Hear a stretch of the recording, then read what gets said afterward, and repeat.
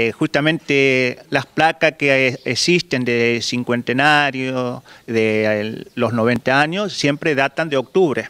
Nosotros lo hacemos en noviembre justamente porque teníamos la esperanza de tener el espacio en condiciones para hacer toda la celebración aquí. Bueno, eh, no se va a poder hacer eso. Eh, y como te decía, no tenemos la fecha correcta porque la misma escuela fue rotando de lugar. O sea que este no es el lugar original. Este no es el eh, original, digamos. Ha digo, más o menos tenemos entendido cuatro o cinco lugares. ¿Dónde arrancó?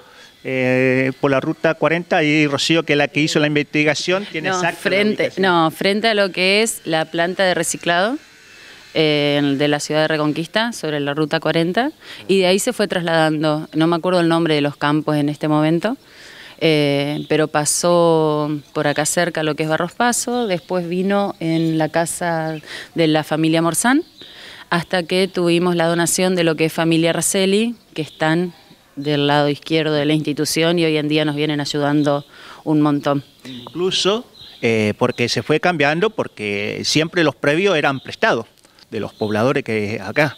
Hay que recordar que esto era una zona rural, así que la gente que hizo la gestión prestaba el lugar y un galpón o un espacio que tenían desocupado para que funcione la escuela. Cuando distintos prestatarios pedían la devolución del terreno por distintos motivos, porque lo tenían que vender, se llegó inclusive a construir una escuela rancho, como comúnmente se la conocía, para que siga funcionando. Cuando vuelven a pedir ese espacio, que había que lo iban a vender, creo, porque eh, se iban haciendo las distintas sucesiones, quedaron sin espacio.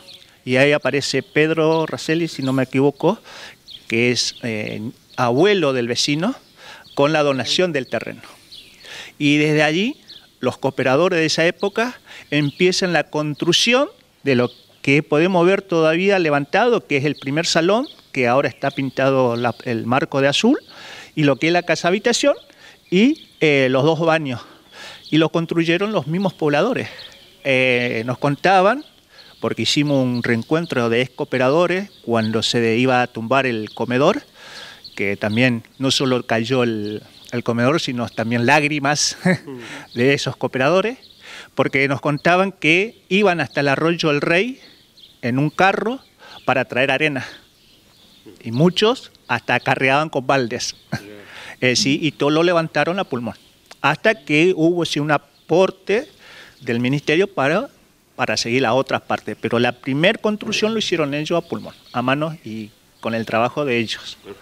Ya vamos a estar este, conociendo un poco más de la historia a medida que se acerque la fecha, seguramente, pero la idea es que algún ex alumno, ex directivo, se ponga en contacto con la escuela. Sí, eh, pudimos hablar con Máximo Trevisan, eh, que ahora bueno, se está recuperando de unos problemitas de salud, pero eh, la verdad que el 15 volvemos a hacer la invitación 15 de octubre. La idea es eh, tener un micrófono y que todos puedan venir a contar lo que han transcurrido en, su paso por la institución. Así que de ahí vamos a rescatar muchas anécdotas y, muchas, eh, muchos recuerdos por todos los que han transitado por la institución.